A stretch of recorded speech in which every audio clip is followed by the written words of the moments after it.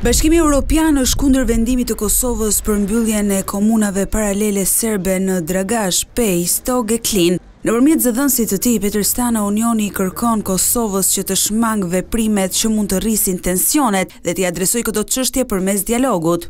Statusi i këtyre strukturave është paraparë të zgjidhet në dialogun e lehtësuar nga BE në lidhje me themelimin e Asociacionit, Bashkësisë së Komunave me shumicë serbe, prandaj Bashkimi Evropian i kërkon Kosovës që të shmangë veprime të njëanshme që mund të rrisin tensionet dhe t'i adresojë këto çështje përmes dialogut të lehtësuar nga Bashkimi Evropian.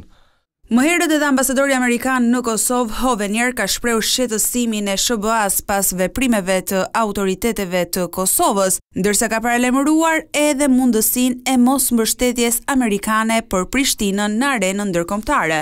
Qeveria e Shteteve të Bashkuara të Amerikës është thellësisht e shqetësuar për veprimet e fundit të autoriteteve të Qeverisë së Kosovës që kanë ndikim direkt dhe negativ në pjesëtarët e etnisë serbe dhe minoritetet e tjera në Kosovë, Këto veprime janë duke rritur në mënyrë të panevojshme tensionet ndëretnike dhe si pasojë kufizojnë opsionet që Shtetet e Bashkuara të shërbejnë si avokuese efektive për Kosovën në arenën ndërkombëtare. Hovenier ka potencuar se çështja e strukturave serbe duhet të trajtohet përmes dialogut të lehtësuar nga Bashkimi Europian, teksa ka përmendur konfiskimin e dinarëve serbë nga autoritetet e Kosovës. Jemi të shqetësuar edhe nga veprimet e Policisë së Kosovës për sekuestrimin e dinarit serb dhe veturës që e transportonte për të shpërndarë pagesat sociale nga Serbia. Ne kërkojmë nga autoritetet e Kosovës të sigurojnë që individët për të cilët janë menduar këto pagesa të përfitimeve sociale t'i marrin ato, pa vonesë.